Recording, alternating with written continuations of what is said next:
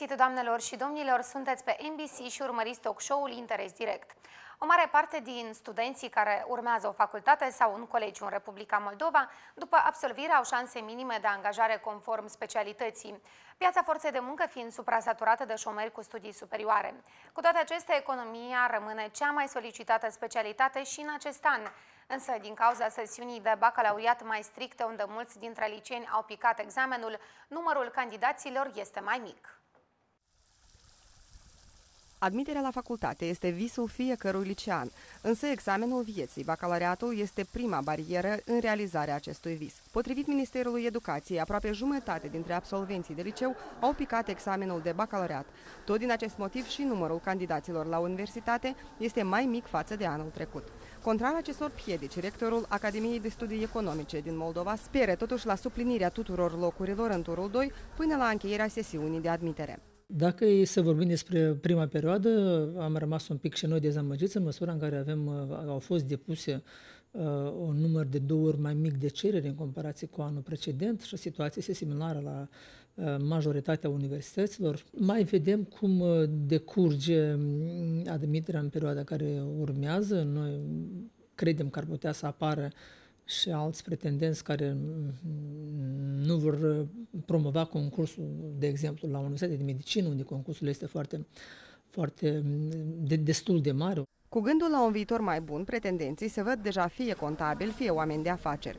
Unii veniți singuri, alții cu părinții susțin că aleg Academie de Studii Economice pe motiv că este mai cunoscută. Place economia, contabil, Administrare publică și drept, la două specialități. Da.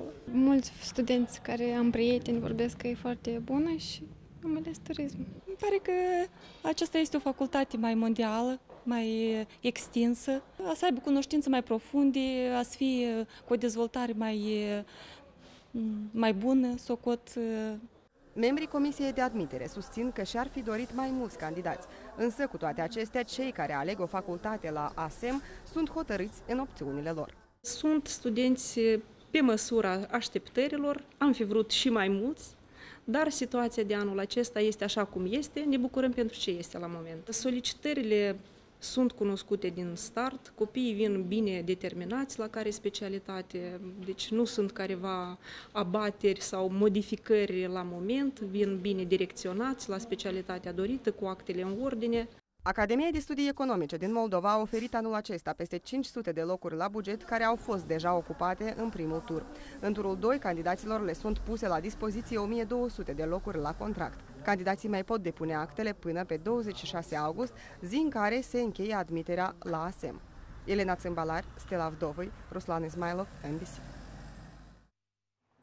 Unde aleg să studieze absolvenții, ce meserii sunt la mare căutare și cum asigurăm calitatea studiilor în Moldova. Despre asta vom discuta cu invitații de astăzi, care sunt Nadejda Velișco, șeful Direcției Învățământ Superior din cadrul Ministerului Educației. Bun găsit! Bună seara! Iurie Sedlețchi, rectorul Universității de Studii Europene din Moldova. Bine ați venit! Bună seara! Alexandra Can, președintele Asociației Patronale din Industria Ușoară. Bun găsit! Bună seara, bine v-am găsit! Iar alături de mine este Ilie Pădureț, directorul Școlii Profesionale numărul 8 din Capitală. Bună seara, bine v-am găsit în casă nouă. Vă mulțumim. Uh, doamna Belișco, vreau să vă întreb, pentru început, uh, de multe ori tineri aleg profesii care sunt prestigi prestigioase, sunt în vogă, dar nu neapărat țin cont de cererea de pe piață. În acest an, cum a planificat Ministerul Educației admiterea? Deci, uh, ca și în anii precedenți, planul de admitere se aprobă de guvern. Este, uh, este această activitate condusă de Ministerul Muncii. Iar celelalte ministere vin cu ofertele sale, analizând rezultatele anilor precedenți, dar și, precum spuneați, piața muncii. Ce solicită piața muncii? În măsura în care un minister poate să-și permită să facă această uh, evaluare. Deci avem anul acesta 4600 40 de locuri la buget dintre, și undeva circa 13.000 de locuri la contract. Toate aceste locuri, sigur că sunt uh, destinate nu arbitrar, au o anumită ordine și această ordine ține de nomenclatorul specialităților, lege uh, aprobată uh, de Parlamentul Republicii Moldova, legea 142, care spune foarte clar că specialitățile în învățământul superior sunt uh, realizate, clasificate pe 8 domenii fundamentale, uh, în 26 de uh, domenii de studii general și încă 95 ulterior, așa, 95 de domenii de formare profesională. Doar câteva cifre. Deci cele 8 domenii constituie educație, științe umanitare și arte, științe sociale, economie și drept, științe, inginerie și tehnologie, agricultură, medicină, servicii. Și dacă să vă zic în procent anual cât se face la acest capitol, deci educația constituie 17%, uh, uh, economia și dreptul pentru care s-a zis astăzi foarte așa mult și foarte așa în detalii despre cum își aleg totuși abiturenții noștri această specialitate, 33%. Științe umanitare 5, științe fundamentale 6%, inginerie 28%, agricultură 2%, medicină 3% și servicii în jur de 5%. Asta este uh, situația în ce privește domeniile de formare uh, profesională fundamentale. Prin urmare, deci nu este nimic întâmplător, este ceea ce uh, s-a ajustat de în 2005 încoace, la aceeași cerere a pieții muncii și respectiv racordată la anumite uh, uh, necesități, dar și uh, cerințe ale pieții europene. Deci, la, după intrarea noastră în procesul Bolonia, respectiv, acest nomenclator a fost revizuit în 2005. Ceea ce uh, nu să putem spune despre învățământ profesional și vocațional tehnic, mediul de specialitate, pentru că acolo încă acest lucru nu s-a întâmplat. Și asta urmează să o facă în această perioadă, pentru că reforma în învățământul profesional tehnic de pe a demarat. Da, vorbim și despre învățământul tehnic. Uh, domnul Sedlețchi, după rezultatele examenelor, pentru că am văzut că în acest an foarte mulți elevi au picat și nu au reușit să absolvească, cum a decurs admiterea în universități? Ați reușit da, să supliniți la, toate locurile?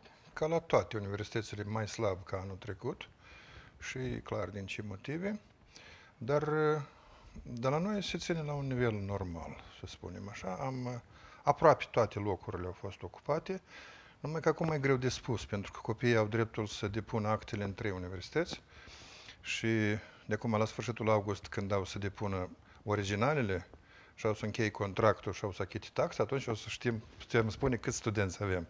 Dar acum nici nu pot să, să spui că sunt mulți sau sunt puțini, locurile sunt ocupate toate sau au mai rămas neocupate. Cu toate că am avut la Universitatea de Studii Europene și așa foarte des a fost. Noi vrem de acum să achităm taxa și vrem să vă depunem originalul. Iată, și asta ne bucură pe noi că chiar de la începutul admiterii, prima, a doua, a treia zi, așa fenomen am observat. Să sperăm că o să fie bine. La sfârșitul august o să aflăm. Domnul Pădureț, au venit mai mulți elevi în acești ani în școlile de specialitate? Deci, Dacă nu au reușit să În primul rând, mă bucur pentru invitație. A doilea, faceți aceeași greșeală ca și toate celelalte redacții, unde suntem invitați că în loc să începeți cu cei mai mici, începeți cu cei mai mari. Așa? Deci, în calitatea mea, în afară de director al școlii profesionale numărul 8 din municipiul Chișinău, mai sunt președintele Consiliului Național al directorilor și situația deci, care este prezentată la ziua de astăzi, să spunem că este catastrofă, nu. Dar mă întorc înapoi pentru că din introducerea care ați făcut-o dumneavoastră, E sigur că pare că ministerul ar fi vinovat că mulți au picat bacul.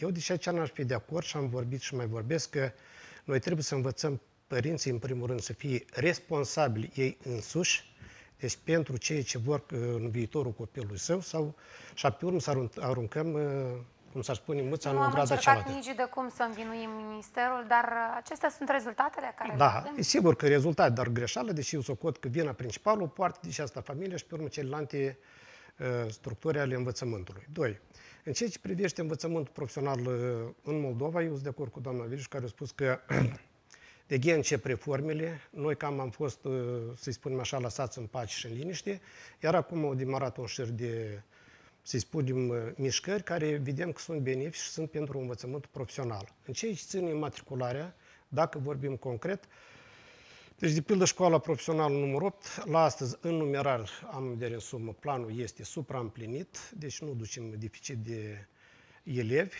școala este atractivă, este bună. La nivel de Chișinău, sunt, sunt școli care s-au împlinit cum liceu profesional 1, liceu profesional 2, școlile care au în vogă acum meserii, cum sunt bucătarii, chelnerii și altele.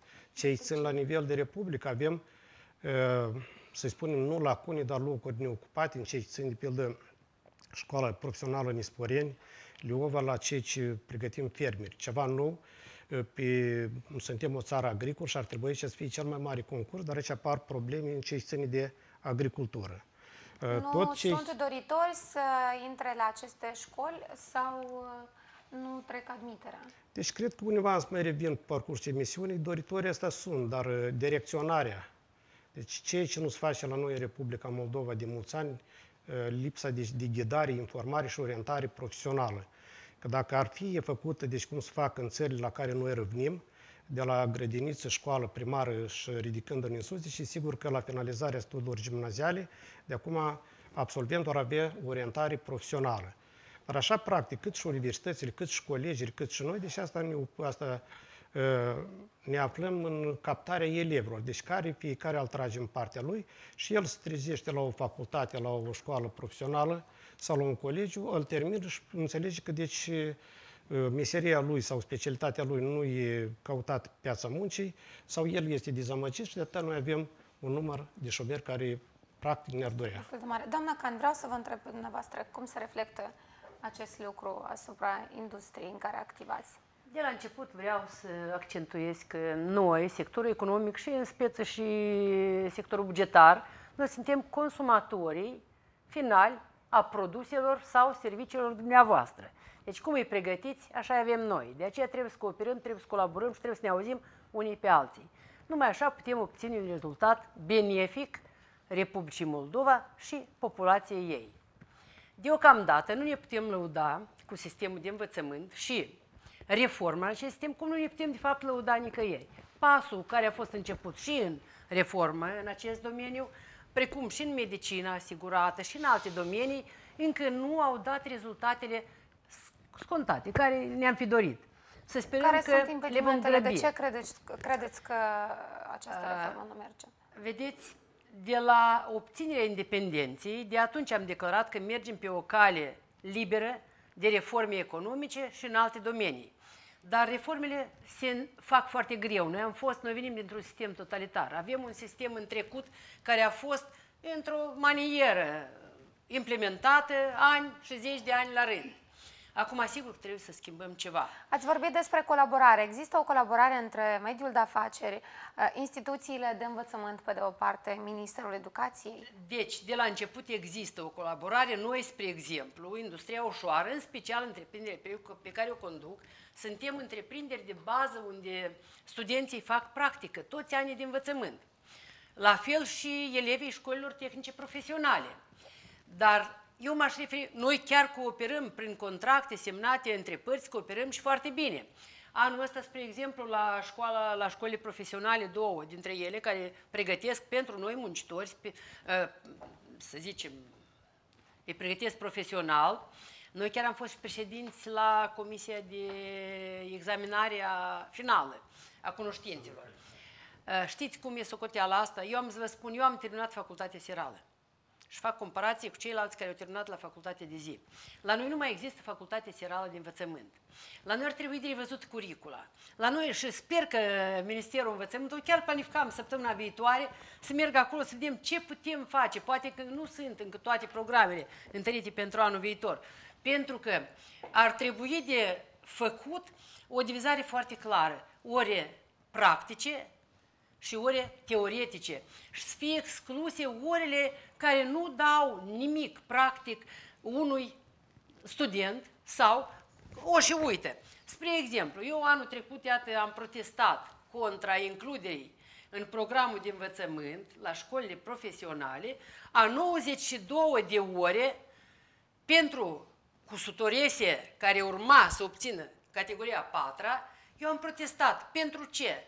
92 de ore, acești copii vor învăța designul. Pentru că este colegiul tehnologic, este Can, institutul în cadrul tehnic. Uh, școlii speciale numărul 8, pregătiți și cu suturese. Dumneavoastră ce A, nu mi mai mult. Aceste modificări. Știți, uh, dați să-mi spun gândul până la urmă, pe urmă îl supărăm pe domnul Pădureț, că ei vor să le citească asta, dar noi nu avem nevoie. Deci, Dacă statul pune problema de pregătire a custoresilor de categoria a patra, să vă dea Dumnezeu forță vouă și nouă, să facem custorese de categoria a patra, care poate de la început până la urmă să facă confecții. Deci, design și marketing și altele da, mai e nevoie de ceva necesar uh, general, psihologie, comportament, uh, contract de muncă, juridic, ceva, dar numai nu, mai mult decât te poți da la un elev în școala tehnică profesională și cerințele. Statul și-a pus și-a propus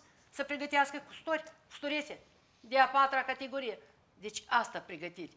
Pentru că 92 de ore, dacă ar face un elev Susțineți practică, că nu sunt destul de pregătite custoresele atunci când absolvesc aceste școli? Nu, eu zic că ar fi, eu nu pun așa negativ. Eu iau partea pozitivă. Și vreau să spun că ar fi mult mai pregătite dacă nu le-ar fi aduse ore în plus, acolo unde de fapt nu le ajută. Pentru că ei nu sunt... Deci mă folosesc din momentul acesta și îți mulțumesc lui doamna Can, pentru că într-adevăr este o ferie războinică. Doi, la multe momente, deci care noi într-adevăr veneam, nu că miopi, dar veneam tradițional, deci care cei trebuie la un specialist. Și îmi pare rău de asta că și în ziua de astăzi se încurcă că în Republica Moldova a rămas școala profesională numărul 8, unica în Republică, care noi venim din domeniul de servicii eh, sociale, pentru case de servicii sociale, centre de modă și tot asta. Și când discuți cu doamna Can și te duci la dânsa la întreprindere, ea are perfectă dreptate. Dar dacă el termină școala aceasta profesională, și deci dacă noi mai dăm de asta meseria a doua în ultimii doi ani de zile, care se numește antreprenoriat, dacă el își cunoaște deci, elementele de business și tot aceasta, e sigur că el niciodată n-a să se îndrepte într-o întreprindere unde și el să fie pur și simplu un rol de, de custoreas care a pornit mașina, i-a dat calitate, i-a dat viteză și celelalte. Dar în alt parametri, deci aceasta de pildă pentru școala numărul 1, dar acolo ei este pentru fabrica Ionel, acolo ceea ce spui matale merge la perfect. La noi fără design, fără elemente de construire, fără proiectare, fără toate acestea, e sigur că nu. Dar aceasta nu e principal. Bravo că sunteți pe poziția aceasta, dar vreau să ne susțineți și pe noi ca mediu de afaceri că în Moldova, în școlile profesionale, nu în toate, sunt excepții. Deci se face carte, se pregătesc buni meseriași și dacă statul ar merge pe calea care spuneți dumneavoastră că să-i susțină, pentru că în ziua de astăzi, cu păreri de rău, la 7 întreg și 80 cadre ingineriști, noi pregătim un muncitor. Luați datele statistice de pe site-ul Ministerului. Și atunci deci apare întrebarea. De ce este această discrepanță da, păi în de cazul mare? ăsta, fiindcă e interactiv să nu facem monolog, și pe rând, în cazul ăsta, atunci, ministerul trebuie să spună problema foarte just. Pregătim mici antreprenori în școala dumneavoastră și pregătim custori pentru Artima și alții în altă școală sau în aceeași școală. Eu, care mă ocup un an de zile, un an întreg, cu elevii de la școala dumneavoastră și de la cealaltă școală, eu pentru ce pierd lucrul ăsta? Mă plătește cineva sau restituie cineva cheltuielile noastre ca să pregătesc nu știu ce și nu știu pentru ce? Noi îi acceptăm pe toți 30 de elevi ca să-i facem lucrători buni pentru noi. Dar ei nu pot deveni atât de buni, la fel de buni, precum ar fi dacă ar face mai puțină teorie și mai multă practică. Deci asta ar fi. Viața a demonstrat că vă rog, practica vreau să vă întreb bate și pe dumneavoastră, teoria. pentru că Aș vrea ca să să nu fie un intervin monolog. și Da, aș vă vrea rog. Să, în, acest, în această sală să nu confundăm deci, treptele de învățământ și să vedem foarte clar fiecare treaptă care este misiunea și ce a făcut în această perioadă, pentru că probleme sunt la toate treptele de învățământ și la sigur că este loc de mai bine întotdeauna. Și sunt de acord că planurile cadru care sunt date atât pentru profesional, mediu de specialitate, superior, este nevoie să fie îmbunătățite. De exemplu, pentru învățământul superior, odată iarăși cu trecerea noastră la procesul Bologne, sigur că acest plan cadru a fost racordat, discutat, dezbătut, dacă vreți, în publicul academic universitar și pe parcursul de la 2005 încoace îl consideram bun. Acum, deci se dezvoltă niște lucruri în societate, se dezvoltă și aceeași economie care tot zicem că nu, nu. Tendințele sunt Tendințele altele sunt și altele, necesitățile se schimbă, pieței sunt altele. Studenții noștri sunt cu alte cerințe. Și atunci noi trebuie să fim foarte flexibili la ceea ce ne cere partenerii noștri, viața, dar și acești studenți, pentru că studenții astăzi au alte necesități decât altă dată. Ei vor să învețe altfel. Au nevoie de tehnologii informaționale, au nevoie de o interactivitate Dar în abordare. tinerii trebuie reorientați și adaptați cerințelor pieții, pentru că dorințele păi, pot fi când mari, dar ziceți să dacă nu există un adaptăm loc de muncă cerințelor pentru tine pieții? pe piață, atunci care este rostul unui... Vorbim uh, acum de specialități și vorbim de calitatea curicula și planul cadru. Haideți un pic să, să ne descurcăm cu planul cadru și trecem la piață acum. Este vorba de calitatea acer- acestor studii și spuneam că studenții astăzi au nevoie de, totuși de noi cerințe noi. Educația antreprenorială care este introdusă pe verticală. Chiar și în învățământul preuniversitar, liceenii au cursuri de educație antreprenorială. Este o parte foarte bună astăzi, dar este nevoie să fie consolidată. Trebuie adusă clar pentru ca aceste competențe să fie obținute de cei care uh, asistă la aceste cursuri. Studenții noștri, Studenții noștri, uh, vă ziceam, au nevoie de tehnologii informaționale, au nevoie de metode interactive în predare, nu vor să stea la acele cursuri să se plictisească. Au nevoie ca profesorul să fie un ghid care să-i ajute să obțină acele competențe cerute pe piața forței de muncă, pentru că este foarte mare. De aceea noi zicem astăzi că învățământul trebuie centrat pe cel ce învață, pe student pentru că fosta Uniune punea accent pe... a oferi loc de muncă studenților. Vorbim Nu. nu. după o scurtă Deci pe pauză student, și avem despre nevoie. studentul dacă Doamna are- Vereșco, mă iertați, Scuze. trebuie să vă întrerup. Discutăm de o- după o scurtă pauză și despre calitatea învățământului.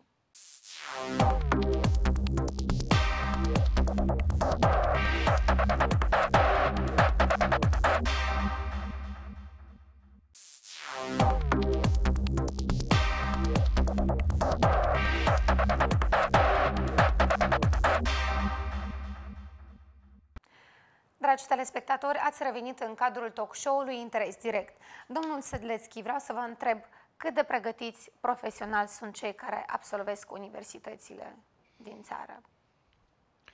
Cum ați califica? O apreciere să dați. Din țară, greu de apreciat, eu pot să spun despre universitatea noastră. Că depunem toate eforturile ca ei să fie cât mai pregătiți, dar în, eu cred că în orice universitate sunt problemele acestea. Ceea ce s-a discutat de a motiva pe studenți să învețe. Eu sunt ferm convins, după părerea mea, că studenții nu sunt motivați să învețe. De ce nu Toți sunt care motivați să sunt studieze universitari atunci? o să fie de acord cu mine că când te duci în grupa academică, cât este acolo, 20-25 de oameni, îi ai, ca să spun așa, de la, de la 10 maxim până la 30% din grupă care învață și cu care eu am plăcerea să lucrez la disciplina mea pe care eu o predau. Și cam așa fiecare profesor și îmi spune. Depinde și mai mic de 10% sunt. Sunt uh, de cei, deci acei care învață și au succes și cu ei eu îți rezolv problemele. Încep seminarul astfel, vin și ca să nu stai și ceilalți. Numesc pe cineva să vedem știu cine, să răspundă la întrebare, spune nu m-am pregătit, a, n-am avut timp, azi nu am înțeles și e, menționez vreo câteva persoane, vreo 5-6 care să știe că am luat în seamă și le-am pus negativ și după aceea primesc plăcere cu cei care învață. Și Poate cam, atunci ar și cam trebui- fiecare fac asta. Poate atunci ar trebui să fie mai drastică admiterea în uh, universități, Da. ca să Trebuie poată să fie eliminarea intra în facultate doar cei care în au dorință perioada să învețe. de studii. Eliminarea pentru neînvățare. Mai întâi de toate sunt sesiunile de admitere, să începem de aici. Sesiunile de admitere, dar și cele finale în care participă partenerii noștri sociali, agenții economici, în calitate de președinți. Deci, la fel, se poate de văzut în ce măsură acești viitori absolvenți ai învățământului superior sunt gata să intre pe viața forței de muncă. Pe de o parte. Pe de altă parte, lucru care se va întâmpla în următoarele perioade uh, de reformă în învățământul superior, dar și în învățământul vocațional tehnic, este instituirea acestei agenții de asigurare a calității. Ce înseamnă aceasta? Deci programele trebuie acreditate. După an- o anumită perioadă, când universitatea a propus pieței muncii un anumit număr de absolvenți, deci vine acreditarea și spune sunt bine pregătiți pentru piața forței de muncă, sunt uh, capabili să aducă uh, utilitate țării. Cum? Pentru că unii din, uh, din indicatorii pe care sunt în această metodologie de acreditare este angajabilitatea în câmpul muncii. Și universitățile sunt obligate să aibă sisteme, strategii de urmărire a traseului studentului. De exemplu, în lume există uh, astfel de strategii în care se spune foarte clar că în primul an s-a angajat la muncă, într-al doilea an, în al treilea, care este salariul la primul an, care este salariul la al doilea an. Deci sunt strategii întregi în care universitatea își urmărește absolvenții. Această... La, ce, la ce bună? O să mă întrebați. Păi, tocmai din acest considerent și având aceste strategii, poți să revii la planul cadru, să revezi. Poate ceva nu merge. Cele ore poate nu sunt bune. Poate predarea nu este în tocmai nouă. Ni se pare uneori că totul este bine, dar poate sunt alte cerințe pe viața forței de muncă. Uite, această agenție își va face activitățile începând cu 2015 și urmează ca instituțiile să fie acreditate, dar și programele acestora. Vreau să vă întreb despre agenția despre care ați menționat, de asigurarea calității în educație. Credeți că astfel vom putea crea un mediu educațional calitativ? Și cine va evalua, care vor fi, de unde veți lua experții? Vor fi din cadrul didactic al universităților sau vor fi Mai experți toate, independenți? Această agenție chiar miercuri la ședința de guvern și-a aprobat un consiliu interimar. Consiliu de Conducere care ia decizie asupra uh, acreditării sau neacreditării anumitor programe. Acest Consiliu Interimar însă are, are altă menire de a pregăti platformele pentru activitatea acestei agenții, metodologii, indicatori de performanță, standarde și așa mai departe. Această agenție, la momentul când va începe să funcționeze, deci uh, va avea uh, comisii de experți pe domeniile pe care le-am menționat astăzi, pe specialități, sigur că cu invitarea experților din afară. Vă referiți la experții internaționali? Internațional, pentru că uh, diplomele pentru a fi recunoscute pe piața europeană sau cea internațională trebuie să corespundă anumitor rigori. Știe toată lumea acest lucru. Această agenție trebuie să spună clar, programele de la universitatea concretă sunt bune, corespund uh, solicitărilor, cerințelor acestor standarde de acreditare sau nu.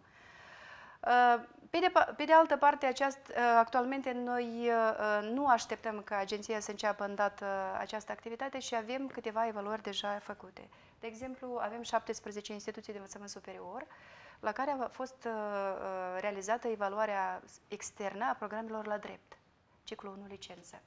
Urmează a doua etapă, începând cu noiembrie încolo, uh, evaluarea externă a programelor masterat. Această activitate este realizată de Agenția Română de Asigurare a Calității. Așteptăm rezultatele în toamnă, să vedem care este situația cu programele de drept, care este calitatea lor și atunci putem să discutăm Înseamnă și mai mult. Că vor fi închise careva universități Înseamnă care nu vor că unele pot fi calității. închise, altele nu universități, program poate fi închisă sau poate fi acreditată pe un termen de 3 ani sau 5 ani. Dacă termenul este mai mic, atunci îi dai o jumătate de an pentru a înlătura neajunsurile, da, dacă e posibil. Facă studenții care deja s-au încadrat uh, acolo. Deci, uh, metodologiile noastre prevăd că în cazul, uh, Doamne ferește că nu este acreditat un program de acest tip, atunci studenții trec la o universitate care este acreditată. Da. Deci nimeni nu stă în drum. Domnul deci... Sădețchi, vreau să vă întreb pe dumneavoastră ce părere aveți despre instituirea unei astfel de agenții? Nu, ei făcut după teorie, tot cum trebuie, cum sunt în alte țări, dar uh, nu luat în considerație una. Eu am altă părere aici.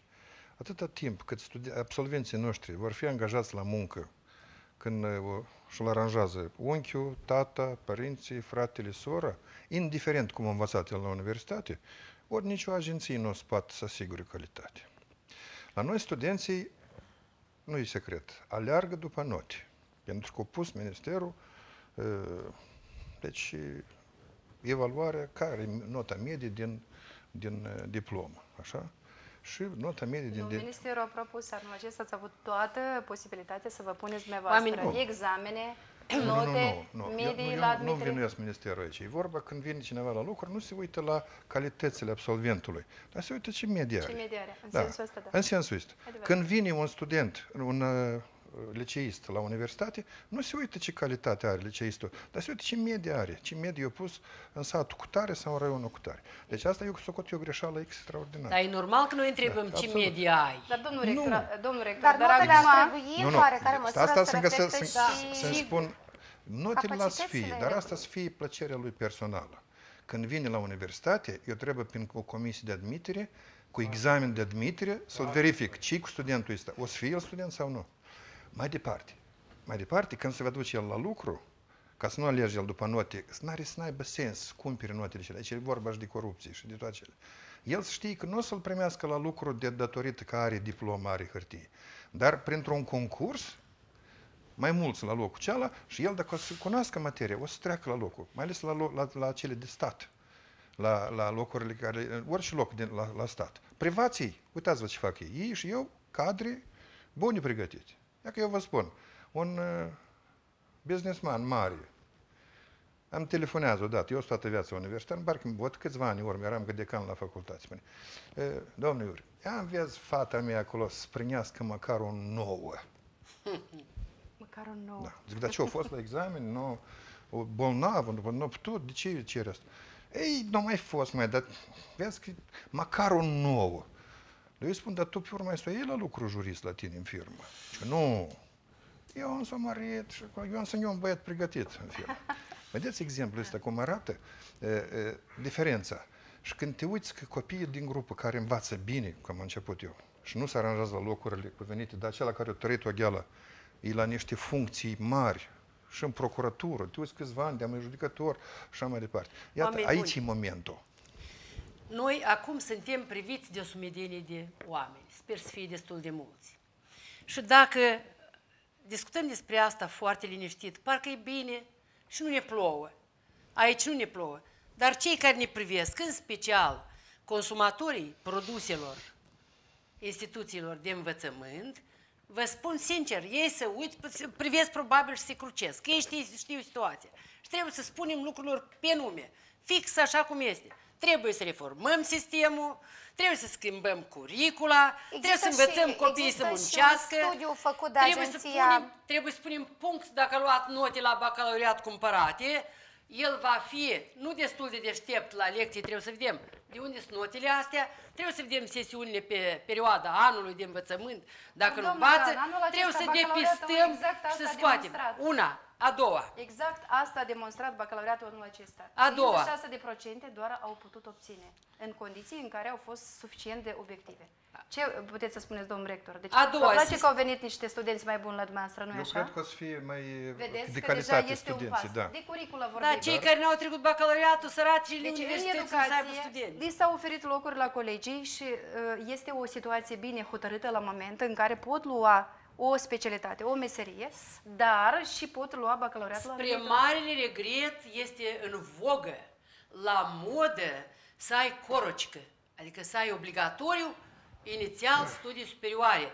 Și părinții și copiii nu se este gândesc modă, nu că este nega. mult mai bine să încerci să faci ceva, să înțelegi Poate ar trebui atunci pornești, copiii pregătiți cum faci. din școli, și atunci e mai ușor să înveți când știi a face ceva. Cerințele pieții. Dar, dar, e posibil să învețe din primul an. Dar spuneți-mi, de ce în Franța și în alte țări europene, noi zicem despre, vorbim despre sistemul de la Bologna. Eu am făcut uh, perfecționare pentru formatori într-un proiect Tempus de 2 ani, în limba franceză și am făcut perfecționare în Franța. Am avut ocazia să văd cum se face acolo învățământul și vreau să vă spun că acolo, după lecții, Studenții merg și fac practică la întreprindere și nimeni nu îndrăznește să schimbe nota pe care a pus-o conducătorul de practică pentru că el știe la ce nivel a ajuns și cât știe. La noi nu. La noi este foarte important ca toate orele să fie împărțite, pentru că profesorii trebuie să aibă ore. Nu și elevii practică. Singuri elevii, studenții, spun la noi, în fața noastră, că noi vrem să facem practică. Când terminăm instituția de învățământ, trebuie să venim pregătiți ca să putem rămâne aici. Și asta este demonstrat. Eu, toți pe care am luat, aproape, au făcut practica 2-3 ani după lecții și nu le-a fost nimic. Nu se obosesc prea tare, dar învață ceva când ia diploma, el e gata, e pregătit să facă ceva pentru un salariu plin.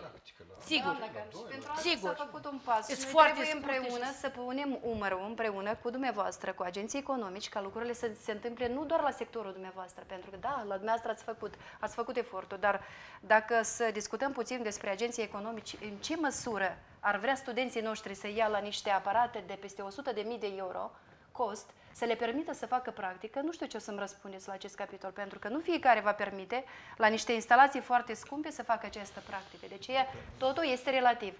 Și nu trebuie să spunem despre toată lumea că este la fel sau nu. De exemplu, o să fac câteva lucruri, uh, o remarcă. Deci Universitatea Tehnică are o colaborare foarte frumoasă cu Orange, cu Molcel, cu Moltelecom.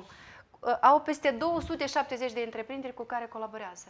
Și eu zic tot nu este suficient. Universitatea tehnică este Și au făcut una un din centru de puținele uh, excelență. care o, po- o putem pune în exemplu. Domnul profesor Dar de ce? Sedleschi, la Domnul fel, Sedleschi, există are o colaborare cu experiență mediul de afaceri? Păi și are colaborare, sigur. Am o că, colaborare, Cu procuratură, pur și simplu, doamna, că nu știi. Eu am uh, După nu studenți pot, dumneavoastră faceți care, juriști. care se duc după, uh, conform planului care întărit de minister la practică, așa e oficial. Dar nu, nu-i de ajuns. De ce? Noi am făcut, ca de vreo câțiva ani, studenții de la anul întâi se înscriu, am de cum vreo 40, s-au înscris la ofițer de urmărire penală. Și el în timpul lui liber, liber se duce la, la ofițerul respectiv și își face practică. Altul s-a scris la procuratură, altul la, la un judecător. Clar că el nu poate să o rezolve, el citește dosarul, el du, duce o hârtie, duce o citație, el Deja se asistă în deprinde, proces. deja se deprinde, și acumulează el deprindere. e, se vede că e, sunt foarte cointeresați. Și, Fiecare cu adevărat da. sunt și pe urmă, e, eu câștig dublu aici, pentru că el vine acolo și vede niște cunoștințe practice, le, le ia și le, le asemelează, că el e tânăr, dar se arată și pe dânsul. Și după asta, să vedeți cât de mult s-a, s-a angajat la muncă. De pe la anul 3 de acum 4, spun eu pe copilul ăsta eu la lucru, fetița asta lucrează foarte bine, eu să o angajez la, la procuratură Și doar sau în așa, altă parte. prin Da. stagiul de practică, Și iată, eu poți am, să ajungi eu să am înțelegi uh, uh, aici și viitorii pri- privilegiul candidați. universităților private. Eu am contracte de colaborare aproape cu toate ministerele. De forță și astea alte. Vedeți? Și ce fac? Uh, Eu, Curicula nu obligă.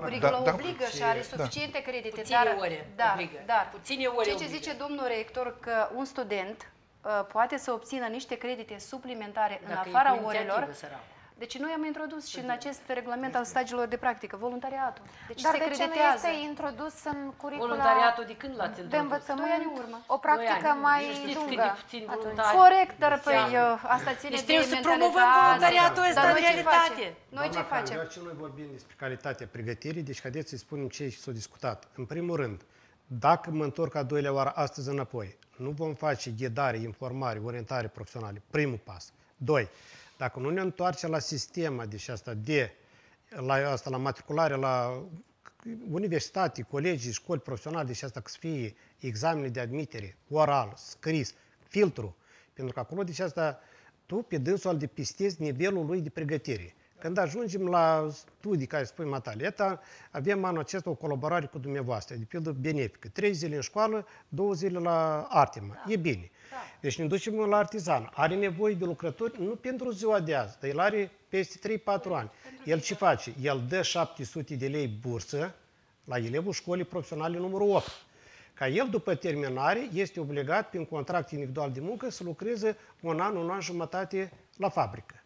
Și el, și să mai spunem de ce este, că nu grada dumneavoastră să spunem că la noi în Moldova, pentru ca să punem accentul pe un tânăr specialist, de care nivel n-ar fi el meseriaș, specialist și așa mai departe, noi trebuie să-i asigurăm și salarii decente. Pentru că aici este un absolvent care vrea să-și creeze o familie, are părinți care l-au întreținut, are o viață personală și e sigur, deci, Vedeți, da, Salariile se lucrează, se, se câștigă, lucrează. nu se oferă, nu Deci se eu dau. vă spun, doamna Can, deci, într-adevăr, vă Între duc- doi care lucrează diferit nu poți să-i plătești la fel. Păi, Cum n-ai vrea de tare și cât n-ar e- avea cel mai nu. slab noi nevoie vorbim, mai mare. Noi vorbim la general, dar noi vorbim de un om general. care deci, e, își pune obrazul conștient, muncește, vrea să aibă aptitudini Sigur. practice și asta de ta.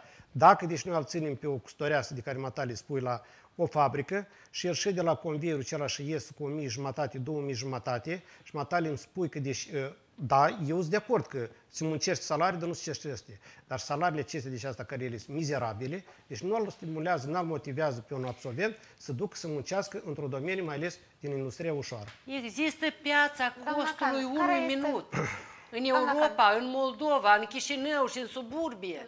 Și dacă nu faci Doamna Can, față... care este mediu, salariul mediu în uh, cadrul companiei dumneavoastră care îl oferiți? Spre Uh, exemplu, pentru cusutorese. o custoreasă bună poate primi de la 3500 în sus. Poate primi și 4000 și 5000. O custoreasă bună. 3500 este salariul minim sau O mediu? custoreasă bună poate primi și 5000 și 4000. Ce ar știi? însemna o cusutoreasă Înseamnă bună? că Experiență sau experiență, capacități? experiență și bine organizată, care muncește bine și calitatea muncii. Dar la noi în întreprindere avem 36 întreg și 6% pensionari. Peste, avem peste 60, 68 de ani, 65 de ani. Normal că nu putem vorbi de o productivitate normală, dar sunt fete tinere care muncesc foarte bine și câștigă normal. situația aceasta este și la Zorli, și la Ionel. Și la Ionel sunt care primesc 8.000, 9.000 de lei. Depinde. Deci, la noi se câștigă. Noi avem o unitate de timp în care trebuie să ne includem. Și dacă nu te incluzi, tu nu primești bani mai mulți, nu poți să oferi mai mult decât. Deci trebuie să scoatem toți timpii pierduți. Trebuie să organizăm acești oameni, trebuie să vrei și omul să înțeleagă și să vrea, trebuie să fie pregătit. Vreau să vorbim puțin și despre un studiu făcut de Asociația Națională de Marketing, care arată că 45% din studenți cred că își vor găsi cu greu un loc de muncă în domeniul pe care l-au ales. Este vorba că nu îl vor găsi din cauza ofertei reduse sau din cauza salariilor mici pe care le oferă. Doamna Verișcu, cred ce că, deci, actualmente și la noi în Republica și ca și în toată lumea, deci trebuie să concurezi pentru un loc de muncă, indiferent. Este un minister, este o întreprindere, este o firmă respectivă. Deci lucrurile și abilitățile despre care se discuta astăzi, că cel care vine la un interviu trebuie să știe să se prezinte, nu doar că are cunoștințe bune sau abilități bune sau competențe bune, el trebuie să știe să se prezinte. Ceea ce se întâmplă astăzi nu este întocmai ceea ce spuneați. Și uh, o să zic și domnului director că, din păcate, multe companii de tehnologii informaționale sau în domeniul IT, deci oferă salarii superbe, aș zice eu, în domeniu, dar nu tocmai în toată ziua își pot găsi respectivii uh, oameni care ar putea să Am lucreze și studi- nu, vorbim la general acum. Și atunci există și agenți economici care pot oferi pentru respectivele calități și competențe care, cu care vine absolventul. Deci este o problemă la acest capitol. Și eu ce ziceam inițial la începutul emisiunii, deci ce formăm? Îi băgăm acestui absolvent în cap uh, un bagaj de cunoștințe sau totuși îl orientăm spre formare de competențe profesionale cu care poate veni pe piața muncii. Și cum zice Să-și doamna câștige Can, salariul. Uh, ea vrea să vadă calitate la cusătoreasă sau uh, un, uh, un jurist uh, când vine să facă un caz, să-l examineze și să-l prezinte, să fie cu adevărat obiectiv, așa cum ne dorim, sau un medic să te trateze așa cum îți dorești, sau un profesor să-ți predea la așteptările tale, nu-i așa? Calitatea învățământului și a studiilor este afectată în mare parte și de corupție. Cum luptăm cu acest fenomen? Discutăm după o scurtă pauză.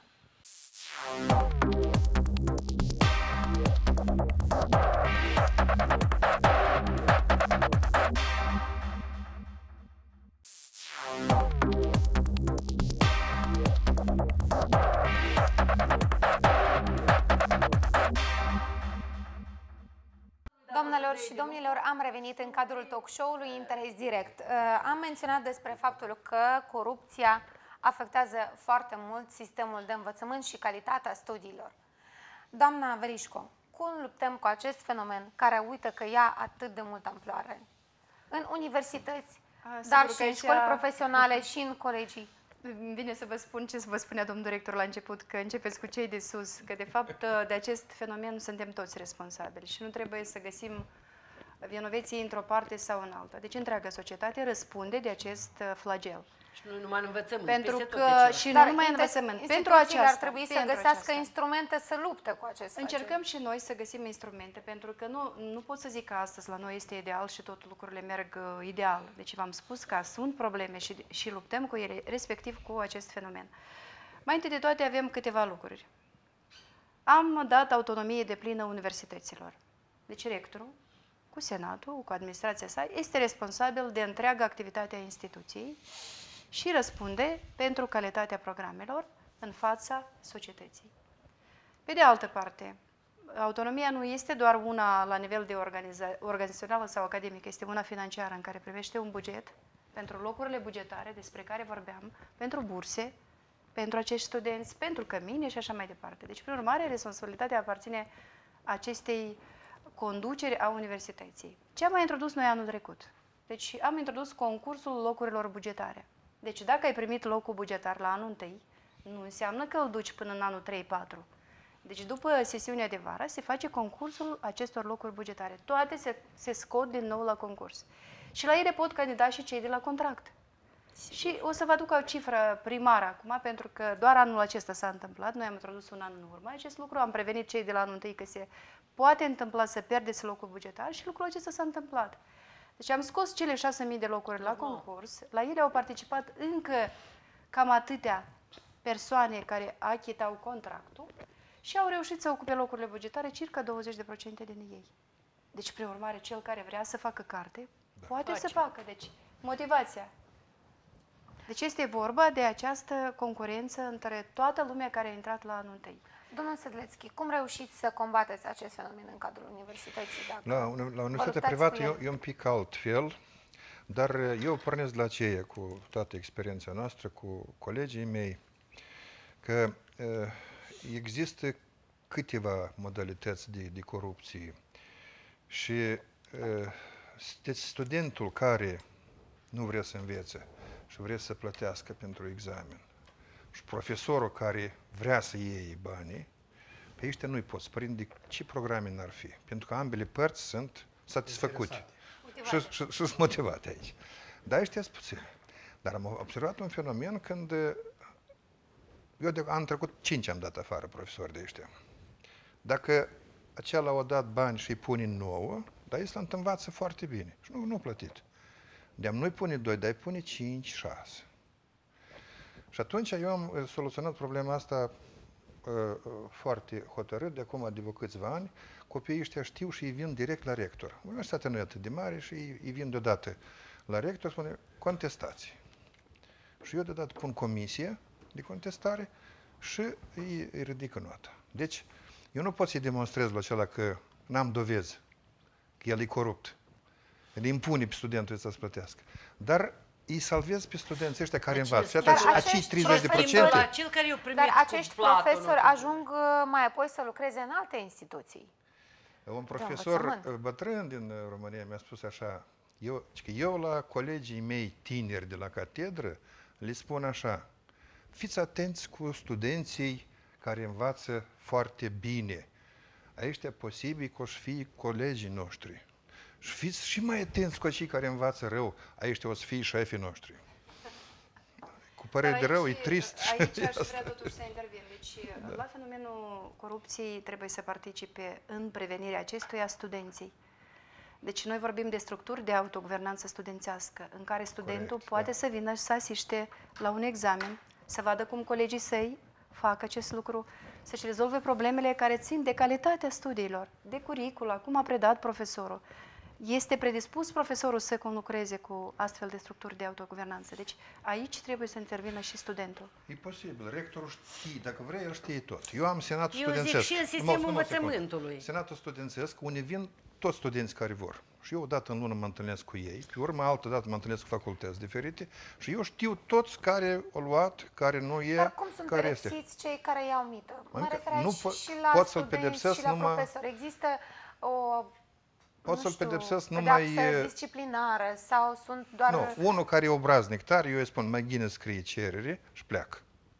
Nu, Dar este e, e greu de demonstrat. Asta, efectiv să lupți cu corupția doar prin Păi cum, dacă eu cinci am dat afară, studenții și mi-au spus mulțumesc, l-ați dat, nu ne trebuie așa. Dumneavoastră mă întrebați ce salariu are o custoriasă, dar eu aș vrea să știu ce salariu are un profesor care stă și își bate capul cu 30 de studenți în clasă, ficiori de miniștri și ficiori de deputați și ficiori de nu știu ce și neficiori. Deci, salariul ar fi un motiv din care nu ar putea să ia riscul asupra sa de a pierde lucru pentru mită.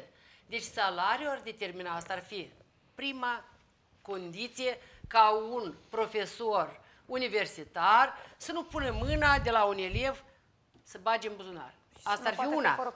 A doua, din câte știu eu, s-ar putea să fiu mai puțin informată ca dumneavoastră, unii și aceiași profesori sunt forțați să se ducă de la universitate la alta prin cumul, să citească aceleași lecții și să alerge, să lucreze și într-o universitate și în alta. Exact. Abia își vede păcatele și îmblă dintr-o universitate în alta pentru că nici nu sunt atâți profesori ca să ocupe toate locurile vacante prin universități. No, no, și cu aceleași salarii nici nu sunt atât, ba, poate sunt. Spre mulți de comerț. Bine, poate sunt, dar cei mai buni sunt întrebați și ei aleargă și își chinuie zilele și nopțile pentru că au un salariu Și nu mai sunt atât de eficienți pentru că... Nu mai pot fi la fel de eficienți pentru că nu mai pot să mai duc acasă la timp să-și facă grijile familiei. Eu vreau să vă spun că salariul determină și un muncitor de rând, și un profesor, și un șef mare să-și păstreze calmul, să știe că locul lui de lucru este o sursă de existență și că nu trebuie să pună mâna pe cine nu-i aparține, că va pierde locul de muncă. Domnul Păgăresc, ce salarii au profesorii în cadrul școlii profesionale? Deci, salariul este o chestie personală care nu se divulgă, pentru că și și juriștii. Întrebare sovietică. Așa. În mediu atunci, care ar fi Deci, problema, dacă aș spune, depinde de managementul care Pot e în școală spune și eu, au salarii universitate. foarte mici, eu știu Așa. lucrul ăsta. Taină comercială, dar eu am aflat-o. Uh, nu, dacă vorbim de ce, pur și Este simplu... legea 355 care foarte clar Sigur, o stipulează citește Da. salariul oricine. de la și până Deci, la. uh, salarii, de să spunem, în uh, unitățile de învățământ uh, sunt uh, o parte care deci, sunt asigurate de stat și este partea a doua, deci asta care este din sursă extrabugetară și ne întoarcem la management. Mă întorc la dumneavoastră cu datul afară și tot. La școala profesională numărul 8 și acum afară la standul de informații stă uh, rezultatele. Le Avem facem nevoie de lunar, maestri. Semestrial și și anuale și le pun afară. Când te uiți pe verticală, deci vezi cum lucrează profesorul, pentru că el citește în 5, 6, 7 grupe. Pe orizontală când te uiți, așa, vezi cum lucrează grupa, maestru, dirigent și tot asta. Și atât când sumezi intersecția aceasta, ești la niște lucruri care vezi cum lucrează în primul rând cadrul didactic, dar într-a doilea, deci asta depistez la adunările cele care sunt lunare, deci asta senatul școlii, te așezat cu dânsi și copiii, adică studenții. Îți spun absolut tot în mod direct și că nu mai este, deci nu suntem noi că dacă am să vorbesc deschis, că noi mai avem teama asta în spate, psihologic, ca să mă dai afară de la lucru, că n-a să mă primească în școală și tot. Iar cu tine vorbește deschis. și a ieșit, totuși, s-a protocolat tot învățământul aceasta și rămâne cu studii. lider atunci când vorbim despre corupție. Dar aici cu corupție, deci Eu mai e, am încă- dacă se poate o am frază metodă și la pe urmă, corupție. iar mai tacă, nu știu, pare că azi am stacă asta. Deci eu, în primul rând, dacă aș face o lege, deci legislația la noi lasă mult de dorit, eu nu l-aș pedepsi pe cel care ia. Nici într-un caz. Dar l-aș pedepsi pe cel care dă. Pentru care e interesul meu să... ambele părți în cazul Deci, ăsta. pentru ce înseamnă că eu să dăm? Înseamnă că eu să le nu Și nu dacă știu cel de nu ea știu îl că- forțează pe cel mai slab să dea. sunt Asta e altă și- întrebare. Vreau să vă zic că Asta mai e există întrebare o de formă bază, că de asta se corupere. Eu întâmplă. fiind Întoarce. o studentă, pot să vă zic prin intermediul cărților pe care le uh, promovează cadrele didactice profesorii. autorice. Spre exemplu, benevol obligatoriu trebuie să procuri cartea profesorului, care vreau să vă zic, de multe ori nu sunt foarte accesibile Și nu pentru erați studenți. obligați să o Da. procurați. Și asta este o formă de corupere. Și vă spun Obligatorie, acum, că eu vara silită. aceasta am întors la copii banii pentru cărți care eu o impus profesorul să le cumpere. Și eu le-am cumpărat la copii înapoi, le-am nimicit, că erau rele, dar profesorul a fost dat afară de la lucru pentru așa ceva. Eu vreau să spun altceva încă. Nu cred că toate universitățile nu, nu reușesc cred, dar să... eu, nu este așa caz, vă spun. Eu cred că co- baza, principiul de bază a combaterii corupției este de a inimici e, e, terenul sau cum, e, economic. Deci, ca să nu poată, să nu, eu vreau să cuiva să dau bani pentru nota și să fug, dar știu că când mă duc eu la lucru, am să dau examen. Și atunci nu are sens să-i plătesc eu profesorul bani. Eu pot, pot altceva să-i fac, să-i, să-i plătesc pentru ore suplimentare ca să mă înveț. Să ne minte, de ce la noi s-a nemicit uh, instituția de mediator, da? care cel care pregătea copilul pentru examen? Nu există. Uite Suntem cum. pe final, mai avem foarte Da. puțin timp. Doamna Veleșco, vreau să vă întreb, reforma care este pornită în uh, învățământ, credeți că va reuși și în cât timp va reuși să aducă ofertele de pe, din învățământ să corespundă cerințelor economiei? Deci eu cred că reformele din învățământ oricum se resimt, indiferent uh, ce crede lumea sau ne crede uh, că vorbim altfel decât uh, ar fi așteptat. Pentru că uh, după uh, obținerea independenței de către Republica Moldova, lucrurile s-au schimbat radical. Vă imaginați că altă dată toate manualele pentru învățământul preuniversitar veneau centralizat de la Moscova. Se traduceau în română și se duceau Dar în școală. Acum reforma noi pe ne-am care a produs schimbat-o acum, credeți curicula, că va manuale, contracara am produs tendința multe actuală? lucruri. Reformele care urmează care să le facem, eu cred că în 4-5 ani vor da roade. Domnul Vă Sedlețchi, spun eu cum că poate se fi simt asigurată reformele și-s calitatea bune. studiilor atunci? Nu trebuie să întrebați ministerul, dar pe noi întrebați-ne cum sunt reformele. Exact. Eu spun că merg bine și e foarte bine, chiar ea că la admitere, uite, anul trecut a fost tot, zi, să le raportăm la minister. Anul ăsta a spus, de la și până le hotărâți voi singurei. E ca autonomie. Mai rămâne să mai Universitate. resimțim și noi o calitate mai superioară să zicem, uite, anul ăsta au început să se simtă reformele pentru că au venit niște absolvenți care, uite, stai cu el, altfel mișcă, altfel judică, altfel se uită în ochi când îl întreb ce vrei să devii, ce ai făcut, ce poți face, ce salariu vrei, cât crezi că meriți, unde ai făcut practica. Așa e. Deci, noi vrem absolvenți care să se descurce mai repede. Noi știm că trebuie să le luăm la învățat de la început, dar teoria, pregătirea teoretică 80% este aceeași, peste tot, baza. Vrem ca baza să le dea universitatea, noi ajutăm Da, să vă le mulțumesc, dăm doamna Can, domnul Pădureț, bazele în practice. încheiere, cum Eu asigurăm scurt pe doi. Deși sigur că și apa, dacă în pahar nu e purtată, deși ea se stric, să-i spunem mai popular. Doi, suntem în ajun de început de an școlar. Mă folosesc, vă mulțumesc pentru invitație și la toți colegii de breastă, fie deci din grădiniță, din școli, gimnazii și așa mai departe, dar în deoseb la cei care au rămas în sistem profesional, vreau să-i doresc un an școlar benefic, reformele Ministerului să fie primite, deci nu ca ceva o abuz, dar, dar ceva real și să mergem deci, și într-adevăr să schimbăm viața. Dacă noi nu ne schimbăm pe noi, alții nu ne schimbă pe noi. Vă Să nu mulțumim pentru fugă după invitație. notă, dar să învețe cu adevărat. Doamnelor și domnilor, atât pentru ediția de astăzi. Vă mulțumesc că ați fost alături. Vă reamintesc și despre pagina noastră oficială mbc.md. Revedeți acolo toate edițiile anterioare ale talk show-ului, dar și alte știri care vă interesează. Un weekend frumos aveți!